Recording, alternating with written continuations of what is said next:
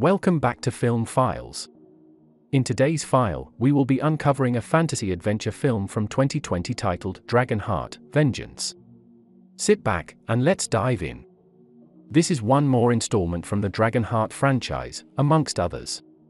In the beginning, a narrator tells us about the birthing of seven dragons and their sudden emergence into society after a long hiatus. Before now, dragons were only heard of in folktales and nobody ever believed they would become real. But according to this story, they did and these seven new dragons which all initially originated from the kingdom of Britannia moved on to settle in the seven different kingdoms. One in particular, on which this story is based chose to reside around the regions of Wallachia. But it had since been banished by King Rosvon for allegedly not helping in a time of need. The story now focuses on Lucas and his parents working in the field. While his parents go back indoors, Lucas plows the crops with two yoked cattle. When he is done, he lays down on the grass. Not long after, he hears a noise coming from the family cabin. There is some smoke too, and when he gets close enough, he peeps through a hole in the outer shed. His father and mother are about to be murdered by four people. There is a snake who is a woman, and then there is a bear, scorpion, and wolf who are all men. Once they are done with their killing, they set the house on fire and leave. Lucas is sad that his parents are dead, and so he picks up the pieces and leaves with the two cows for the city. Once he gets there, he tries to complain to the king, who is making the rounds among his subjects. He also sees Ona for the first time and seems to like her. His mission, however, is to seek out a swordsman who can help him exact revenge for the death of his parents. He meets Darius there, but some other swordsmen want the job. And so, a sword fight breaks out at the bar. The guards soon appear to control the situation and arrest everyone involved, but Lucas barely escapes. He runs as far as a blacksmith's workshop and sneaks in through the window to spend the night there. The following morning, Lucas is awakened by the sound of a customer. He then makes himself known to the blacksmith and tries to procure a sword in exchange for his family's land. Lucas is desperate for revenge, and the blacksmith senses this. So he points Lucas to the banished dragon and suggests it might be able to help him. Lucas gets on the road, and he asks for directions as he goes. Some people heckle him for his inquiries about the dragon and want nothing to do with his quest. Others actually point him closer to where he might find the dragon. He soon gets close enough and sees that there is a sign.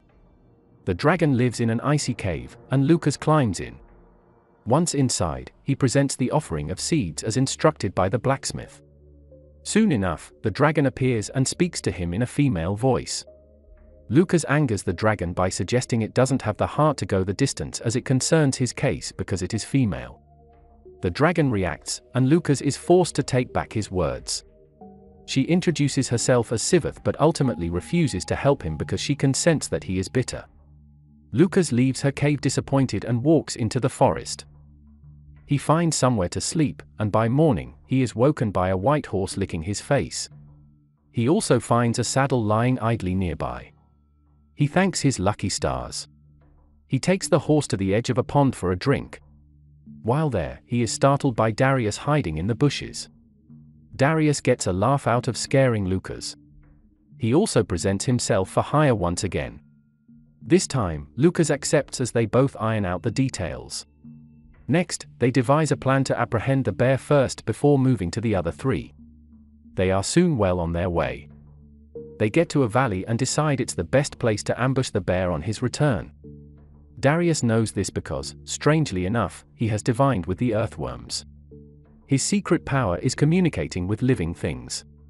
They pick their vantage point and converse about their personal experiences with the dragon as they wait. But then Lucas's horse starts to pee on Darius' bag. As he draws near to confront it, it suddenly transforms into the same dragon. An argument ensues because Darius doesn't like the dragon that much. He asks Lucas to choose between him and the dragon. When it is obvious the dragon could be more helpful, Darius gets on his horse and leaves. Not long after, Lucas is picking some berries and trying to eat something when he spots the very man they are after through a side glance. The bear is also picking berries and eating them. Lucas tries to retrace his steps but drops something and so alerts the bear. Lucas runs for his dear life, and the bear charges the men with him to give chase. They don't pursue Lucas for long before Siveth appears to save Lucas. She is able to neutralize most of the men. Meanwhile, the bear sees Lucas getting away and goes after him. He catches Lucas by the belt and swings him around, but the belt snaps and the force propel both the bear and Lucas.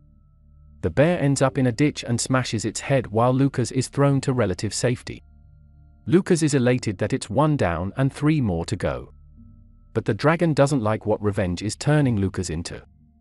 They now head towards where the wolf might be found. He is their next target.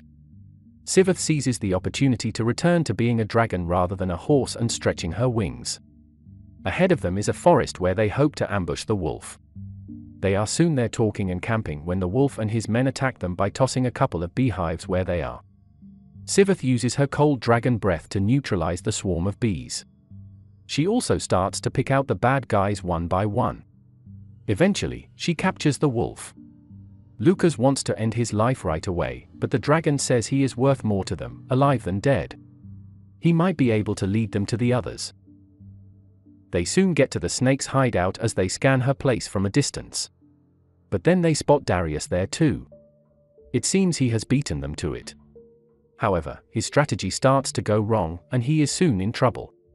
So Siveth helps him a little just as the snake seizes the opportunity presented by the confusion to get away. Lucas pursues her and catches up. They engage in a sword fight. Darius is fighting the other men somewhere else and is mostly succeeding at it. At some point, an ice shot meant for the snake misses its target and hits Darius. And then, both he and Siveth are coincidentally knocked out because of this. Darius explains to Lucas that he is bonded with Siveth hence they are prone to suffer the same pains. When Darius was a boy, Siveth shared her heart with him to save his life a long time ago. They camp for the night in a cave, and Darius asks Lucas to kill the snake, who is also their prisoner now. He says if Lucas doesn't, he will always regret not taking his chance to avenge his parents' deaths. Siveth, on her part, calls for some restraint. But Darius says Lucas should ignore her.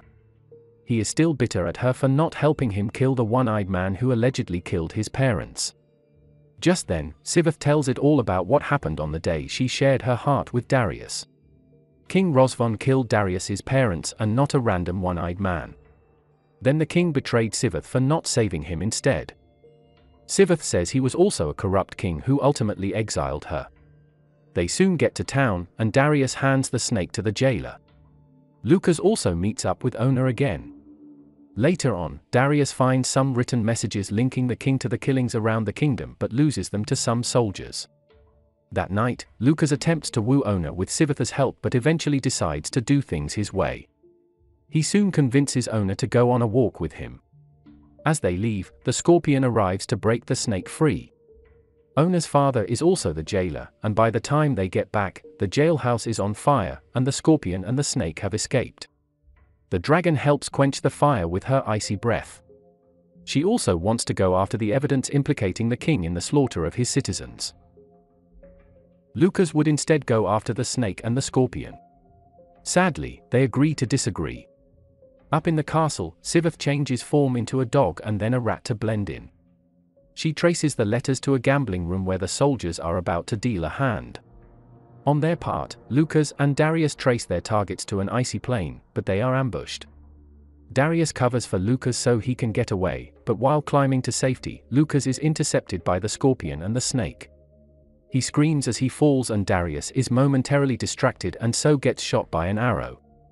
Then they both get into a one-sided weapons fight with the snake and the scorpion, respectively. Siveth senses that Lucas and Darius are both in trouble, and she abandons her plans to retrieve the evidence. As she flies, Darius is being held underwater as he drowns, which affects her until Darius takes out the arrow inside him and stabs the scorpion in the neck. Siveth eventually gets to where they are, and a snake who is still alive at this point after fatally wounding Lucas pleads for mercy. Siveth is angry and ends up chewing and tossing her into the river. Siveth must now carry Lucas away to the city to be healed by Ona.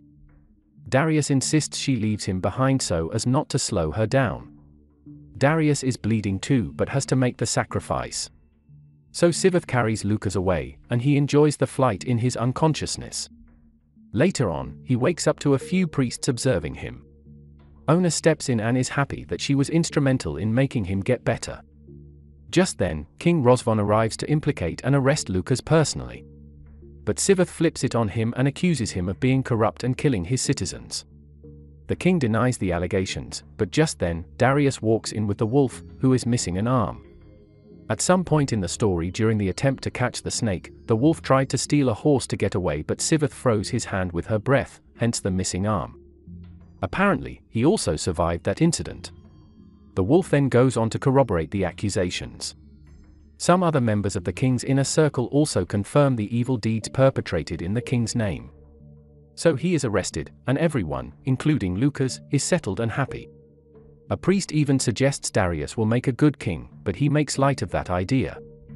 Later on, everyone is at the party to celebrate all the victories. It's a happy time for them all. Even Siveth herself is overjoyed because she likes parties and wouldn't miss this for anything. The end. Thank you for watching. Subscribe and hit that notification button to open more files like this.